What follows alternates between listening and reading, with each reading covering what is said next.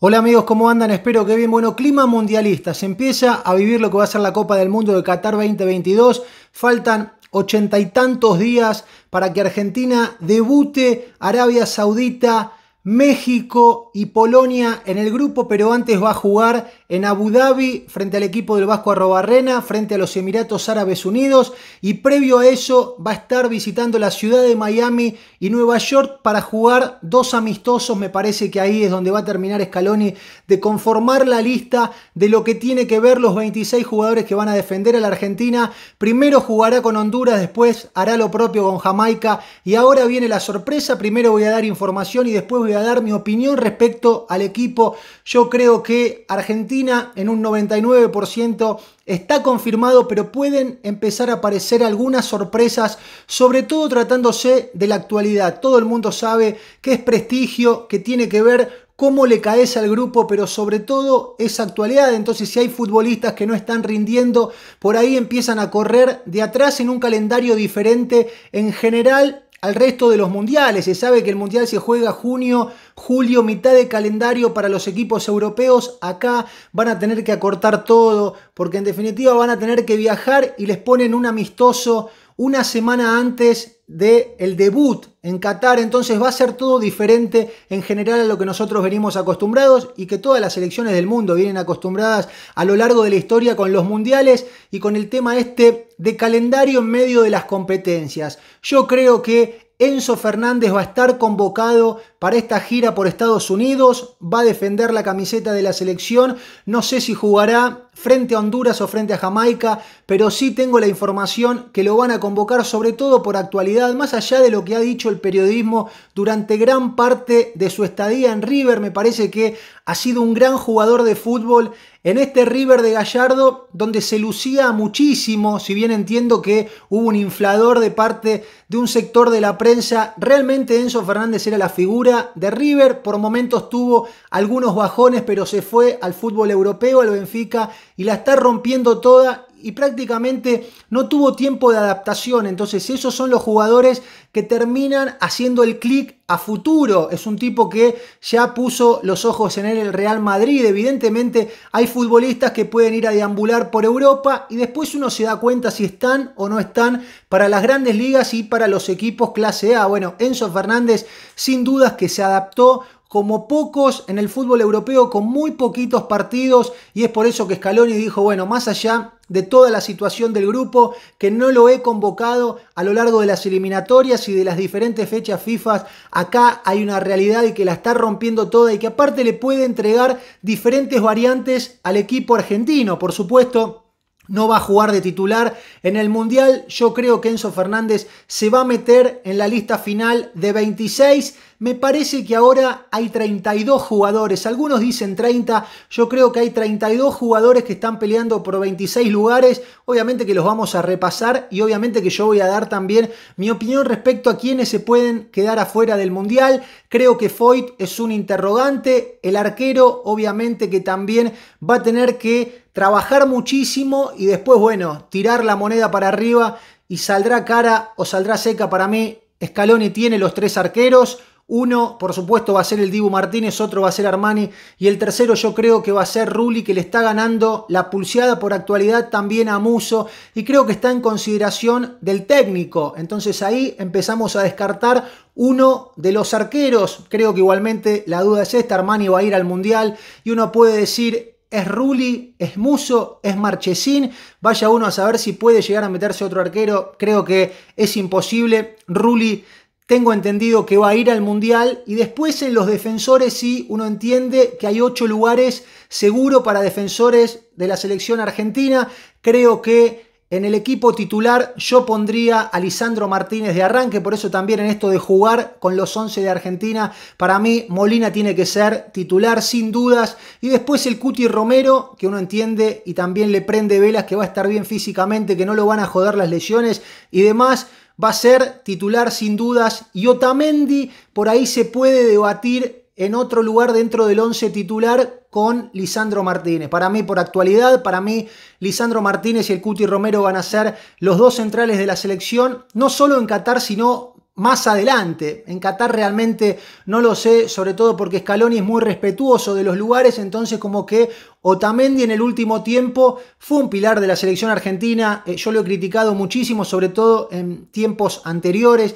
En esta selección argentina no hay tanto para criticarle, creo que hizo un gol la semana pasada, bueno, pero eh, para mí Lisandro Martínez es un jugador muy completo, es un tipo que va de abajo, que va bien de arriba, es tiempista creo que tiene que ser sin dudas el titular, pero bueno, pongamos que ahí hay una incógnita. El 3 va a ser Acuña que le sacó un terreno importante a Tagliafico, pero si empezamos a buscar entre los suplentes, va a estar Montiel seguro, va a estar Pesela 99% seguro, el otro central del que hablábamos y Tagliafico, es decir, que ya tenemos 8 defensores, podría llegar a haber un noveno lugar, creo que ese noveno lugar puede llegar a ser para Foyt. Foyt tendrá que debatir este lugar también con Senesi, me da la impresión, y con Nehuen Pérez. Nehuen Pérez es un tipo de la escuela del Bocha Batista, Scaloni lo seguía desde tiempos pasados, desde las inferiores, surgido en la cantera de Argentinos Juniors, un tipo que fue capitán de alguna sub-20, bueno, muy en consideración del cuerpo técnico,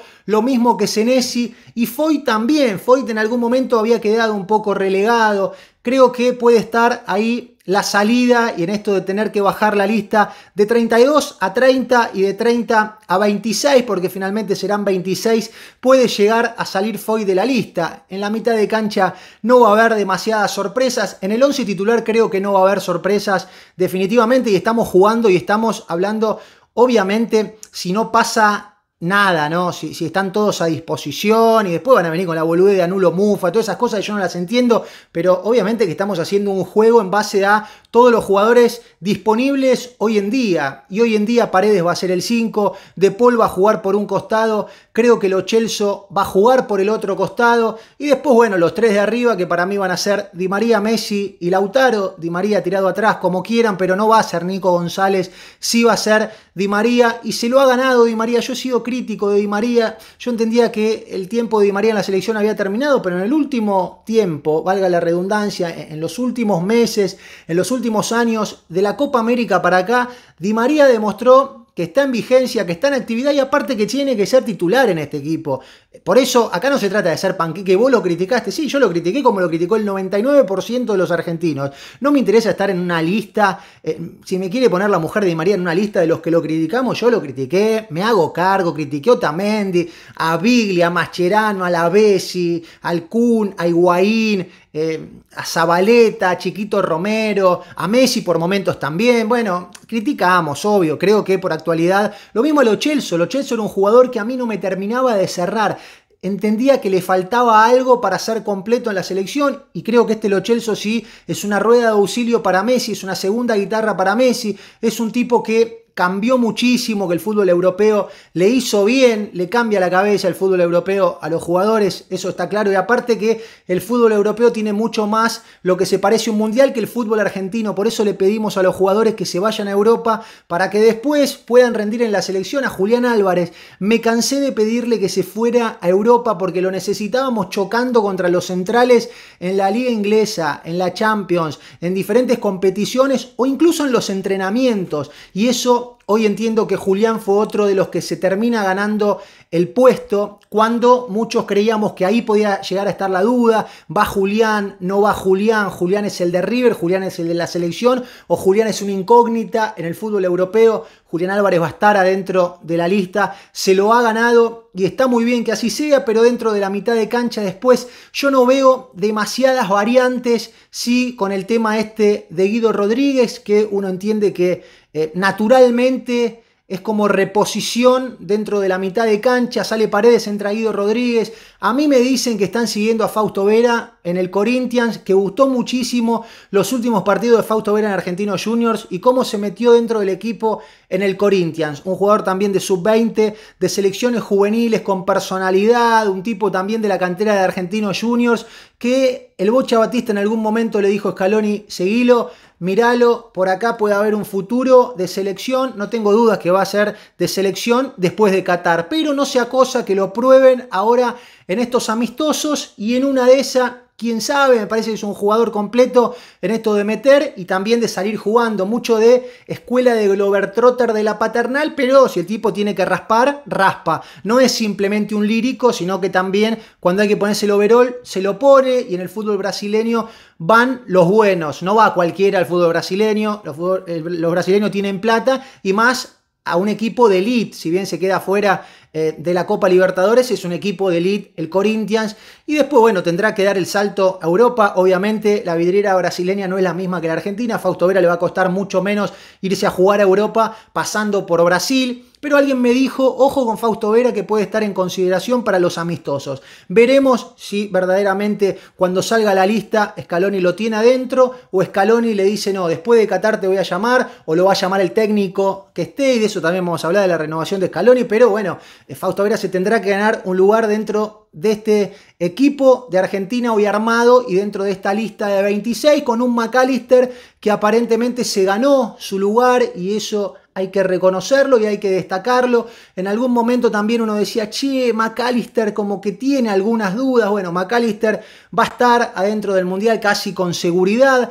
Palacios es la incógnita, acá otro de los que uno decía, y en una de esas Palacios se queda fuera de la selección. Yo creo que Palacios va a ir al Mundial porque le gusta mucho a Scaloni desde hace tiempo. Palacios, la verdad que nunca terminó de pegar el salto, ¿no? Del Leverkusen a un equipo un poco más competitivo, porque el Leverkusen es el Lanús de Alemania, es el Banfield de Alemania, es el Quilmes de Alemania, y vos decís, bueno, dale, pero al Bayern Múnich, dale, anda a jugar a Italia, anda a jugar a España, anda a jugar una liga competitiva posta, te queremos ver todos los fines de semana rompiéndola, para mí Palacios tiene unas condiciones extraordinarias, para mí es un excelente jugador. Es más, si a mí me apuran, yo no sé si no lo pongo no solo en el Mundial, sino dentro del equipo titular. Después, bueno, por esta cuestión de presente y por esta cuestión de tener que estar en permanente eh, contacto con la pelota, con el fútbol, con el choque, con el día a día, y es diferente, es difícil que se pueda llegar a meter dentro del equipo titular porque ¿quién sale? ¿Qué sale? ¿Lo Chelso para que entre Palacios la veo difícil, incluso yo creo que hoy por hoy Enzo Fernández por presente está un escalón por encima, aunque creo que esa no va a ser la competencia. Para mí la competencia va a venir ahora o va a ser por Foyt o va a ser por Angelito Correa, que es un jugador que Scaloni, si bien lo tiene en consideración, no sé si le aporta demasiado a la selección al momento de decir, y tengo unos cuantos ahí adelante. Si a Di María uno lo ubica como delantero, Argentina tiene varios delanteros. Entonces, eh, ¿en qué momento puede llegar a jugar Angelito Correa dentro del equipo? ¿Cuándo lo puede llegar a necesitar? Porque eh, más allá de una cuestión de gustos, de nombre, esto no son figuritas para pegar en un álbum. Esto es entender que en algún momento del partido yo te puedo llegar a necesitar. ¿Y cuándo te pongo? Porque si vos lo tenés al Tucu Correa, que yo creo que todavía tiene que demostrar que para mí no está a la altura de una selección. El técnico entiende lo contrario y Scaloni lo va a llevar al Mundial al Tucu Correa. Dybala parecería ser que este sí va a ser su Mundial, va a jugar, eh, va a estar en consideración, va a ser el suplente de Messi, casi diría natural, como que Dybala tiene momentos de partido para que pueda llegar a entrar. Digo, bueno, ante la ausencia de Messi, Dios quiera que no, pero vos lo tenés a Dybala. Ahora, eh, Ángel Correa en qué momento y por quién puede llegar a entrar. Yo me imagino un contexto de eliminatoria que con Argentina perdiendo y vos vas a poner Ángel Correa. ¿Por quién? ¿Por un volante? Y es un jugador raro. Vos lo tenés al Papu Gómez que tiene algunas condiciones parecidas. Me parece que el Papu está más metido dentro del equipo. Entonces yo creo que el Papu Gómez va a ser del Mundial, va a ser de la lista de 26. Julián Álvarez que se ha metido, bueno, Lautaro ni hablar, pero me parece que ahí va a rondar este equipo de Argentina y creo que por ahí va a andar también esta lista de 26. Yo insisto, dentro de todas las sorpresas, porque en general siempre hay una sorpresa, eh, ojalá que la sorpresa sea simplemente por cuestiones del técnico y futbolísticas, porque los jugadores están todo el tiempo en actividad, entonces vos no sabés si la sorpresa tiene que ser porque tuviste una baja. A los mexicanos se les lesionó eh, el Tecatito hace algunos días nada más y se perdió el Mundial. Bueno, problema de los mexicanos. Obviamente la solidaridad con el Tecatito porque me parece que tiene un apodo extraordinario y lo quería ver en el Mundial simplemente para decirle Tecatito. Bueno, y después eh, el análisis, ¿no? Obviamente, pero obviamente que estas cosas pueden pasar todo el tiempo. Argentina hoy está llegando bien con algunos jugadores eh, en buen presente, otros en muy buen presente y otros en un presente donde o suplentes o te falta rendir un poquito, o con la cabeza en otro lado. Entonces yo creo que le van a venir bien estos dos amistosos en Estados Unidos. Eh, ojalá que Scaloni pueda terminar de conformar la lista, más allá de los resultados, porque uno entiende que Argentina le tiene que ganar a Honduras tranquilamente ni hablar a Jamaica que debe jugar eh, los amigos de la escuela de Bob Marley. Sí, le vas a ganar, pero ojalá que Argentina le pueda ganar con un equipo alternativo ya pensando en Qatar y no con los 11 titulares, porque los 11 titulares están. Yo repito, para mí, el cambio que yo le haría a la lista de Scaloni y al equipo jugando, y quiero también sus formaciones, es este de Lisandro por Otamendi. Después, todos los demás, yo coincido con Scaloni, no creo que pueda llegar a haber demasiadas variantes. Repito, Dibu Martínez sí o sí va a atajar para cualquiera, incluso si esta encuesta la hacemos en la casa de Armani y te dicen, no, ataja el Dibu Martínez, es obvio. Por ahí algunos te dicen Montiel más que Molina o Foyt hay quienes están enamorados de Foy. Yo creo que Molina eh, va a ser titular sin dudas y sobre todo por este nivel que está teniendo eh, Nahuel Molina. Y después, bueno, el Cuti Romero si está bien. Acuña, sin dudas. Nuevamente, repito, eh, Paredes va a jugar.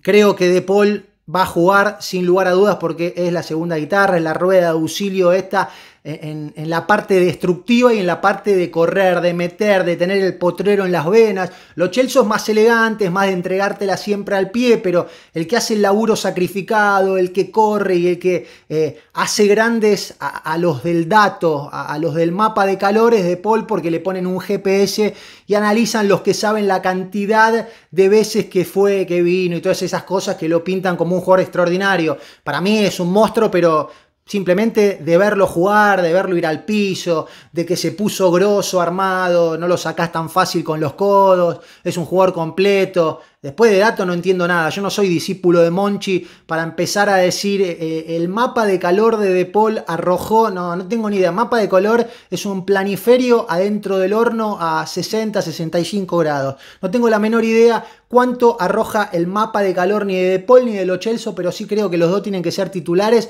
en este equipo de Argentina, siempre pensando en rodear a Messi y entendiendo que tiene un juego bastante lírico, ¿no? Paredes se tira a los pies, pero una selección que por ahí no tiene tanto verol como sí mucho más juego.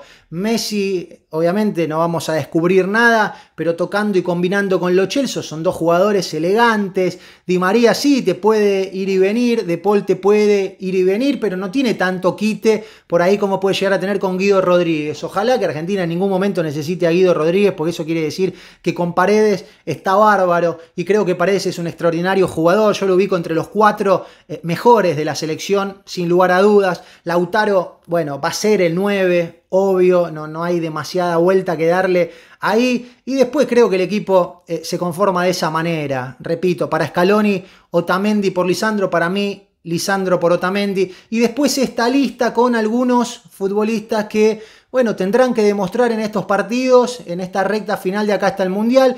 No todos tienen el puesto asegurado. Insisto, Foy si la rompe de acá hasta el Mundial, va al Mundial. Si Correa la rompe de acá hasta el Mundial, creo que va al Mundial también. Enzo Fernández es un problema para el técnico, pues si tenía la lista armada, Enzo Fernández se le está metiendo por la ventana en base eh, de buenos rendimientos. Y, está bárbaro que le pase eso a Argentina, que vos digas, che, pero no lo tenía en cuenta y este tipo no lo podés dejar afuera del Mundial, lo tenés que llevar. Creo que lo va a terminar llevando si sigue jugando como hasta ahora, sobre todo por esta, esta cuestión de adaptación. Un tipo que eh, está jugando en el fútbol argentino, marcado por el 4 de Patronato y por el 5 de Central Córdoba de Santiago del Estero. Cuando se va a jugar afuera, vos decís, le va a costar, va a ser suplente, necesitará 4 o 5 meses. No, el tipo tiene gol, el tipo tiene presencia, se transforma en una de las figuras, todo el mundo habla de él, entonces esas cosas hay que tenerlas en cuenta. Eh, y Nehuen Pérez, alternativas, lo que habíamos dicho anteriormente. Fausto Vera puede llegar a ser esta sorpresa, sé que el técnico lo está siguiendo. No sé si el técnico no habló con Fausto Vera, miren lo que les digo. No sé si no habló. Eh, no para ponerlo en el mundial, acá no se trata de meter y sacar jugadores, sino, ojo, eh, ojo que puede llegar a ser una sorpresa dentro de la sorpresa que ya es Enzo Fernández y de la que puede llegar a ser en este caso eh, y Nehuen Pérez, dos tipos que, bueno, Senesi fue convocado hace poco, que iba a jugar en Italia, que al final no, que lo convocaron en la selección argentina. No creo que varíe demasiado de esos nombres. Por ahí me estoy olvidando alguno que ustedes me dicen, no te puedes olvidar a este tipo. ¿Tagliafico va al Mundial? Pregunto. ¿Está confirmadísimo que Tagliafico va al Mundial? Bueno, yo me imagino que sí. Creo que sí. Creo que ahí no va a estar la duda. ¿Garnacho podrá jugar el Mundial? Creo que le falta, que todavía no está para jugar un Mundial. Los que lo ven jugar dicen que eh, eh, es un extraterrestre, dicen que es un marciano, dicen que es crack terrible, que está para jugar en una selección. Eh, la verdad que para mí es pibito, le falta, hay que llevarlo de a poco. No creo que esté para jugar directamente un mundial. Pero bueno, repito, no lo tengo tampoco tan visto como para decir tiene que estar sí o sí. A Enzo Fernández lo tenemos más visto porque veíamos los partidos de River todos los fines de semana y te pasan un buen compacto de lo que está haciendo en Europa y decís, che, cosa seria. Bueno, creo que por ahí va a ir la lista de esta selección argentina que jugará en Qatar, que está tranquila y que eso es lo importante también, ¿no? Imagínense que si el quilombo de la selección argentina es de y Stuessel, es porque Argentina está bien, es porque no tiene grandes sobresaltos en la cuestión futbolística. Recuerdo que en este mismo momento, o en realidad un poquito atrás, porque el Mundial de Rusia fue eh, antes, fue seis meses antes, estábamos hablando de que Mascherano no iba, de que se había reunido con no sé quién y que tenía que haber ido y lo pusieron por la ventana y que el club de amigos y que un quilombo bárbaro. Y hoy la verdad que el equipo está bien. Creo que Scaloni va a renovar el contrato. Yo sospecho que Scaloni eh, si bien va a tener millones de ofertas del fútbol europeo, él sueña con dirigir la Coruña porque Scaloni es un tipo raro, Scaloni es un tipo de pujato, es un tipo que disfruta del día a día y de otras cosas, no de la vorágine esa de la gente común, no de la vorágine de los técnicos que están de un lado para el otro, que necesitan dirigir todo el tiempo. Scaloni vive en Europa, imagínense que no está en la locura esa. Y repito, me lo, me lo encontré Scaloni en un tren de Pamplona a Barcelona, es un tipo común. Y bueno, dentro de ser un tipo común, es un tipo impredecible también, entonces puede llegar a, decidir cualquier cosa. Con Argentina yéndole bien en el Mundial, yéndole mal en el Mundial, Dios no lo permita, eh, pero no importa, puede pasar cualquier cosa. Yo creo que se va a quedar porque está cómodo, porque hoy ya no es el Scaloni que entraba por la ventana y que si le iba mal en la Copa América, volaba Scaloni, volaba Tapia, que fue el único que en su momento apostó por él, volaban todos. Hoy ya es un Scaloni que está firme, ya es un tipo que viene de ganar la Copa América, viene de ganar la finalísima, viene de clasificar un año antes al Mundial, o sea, está tranquilo, viene de hacerle cinco a Estonia, como que no, no, le puedes entrar por ningún lado, no es que uno dice, che, me parece que acá estás pifiando. Hay muchos que dicen, le va a ir mal a la selección, no jugó contra nadie, que le invicto, que qué sé yo, bueno, ojalá que le vaya bien, somos hinchas de Argentina, vamos a cubrir los partidos de Argentina, desde dónde no sabemos, tenemos mucha ganas de viajar, pero todavía realmente no lo sabemos, vale una fortuna Entonces, para un canal independiente se hace muy difícil, verdaderamente. Ojalá que podamos llevar todo el contenido desde acá, desde Qatar o desde algún lugar del mundo, pero brindarles a ustedes todo lo que le podamos brindar para divertirnos durante el Mundial y para sufrir juntos en este canal independiente, autogestionado y siempre haciéndole el aguante a la selección. Repito, criticando. Voy a criticar a la selección. No es que voy a decir que está todo bien. Si yo veo que eh, el Tucu Correa no está para jugar en la selección, yo lo voy a decir. No le voy a tener miedo a nadie. Y si yo creo que Dybala no tiene que ir al Mundial, lo voy a decir también pero siempre queriendo que a la selección le vaya bien, apostando porque eh, la selección le regale un poquito de felicidad a un país que no tiene felicidad. Lamentablemente, también es injusto que la felicidad de un país se la entreguen 11 eh, pibes que salen a la cancha a devolverle todo lo que le robaron los políticos. No es justo, pero no es justo ni para la gente ni tampoco para los jugadores. Es demasiada responsabilidad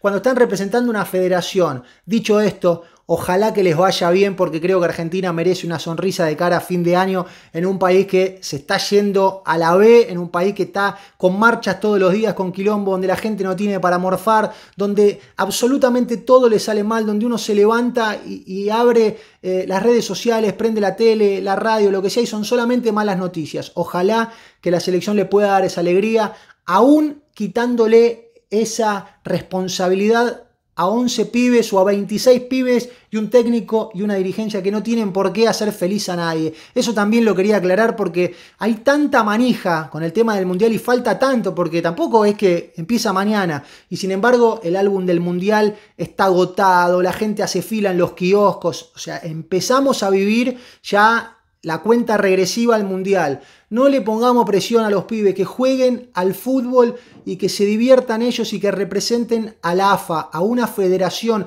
no a un país. No son los jugadores de fútbol los que tienen que salvarle los problemas a la gente y los que le tienen que decir a la gente, che, tomá, acá tenés para morfar. No, esos son los políticos, no son los jugadores. Ojalá sí que los jugadores puedan conseguir algo lindo para el país porque también lo necesita. Caja de comentarios abierta, gracias por la buena onda. Se suscriben, lo que les pedimos siempre, este canal es de ustedes, el canal del pueblo, el canal independiente y autogestionado que intenta comunicar a nuestra manera, como nos sale, como nos gusta y como tanto nos divierte. Nosotros la pasamos bien, ojalá que ustedes también. Gracias por la buena onda y hasta la próxima.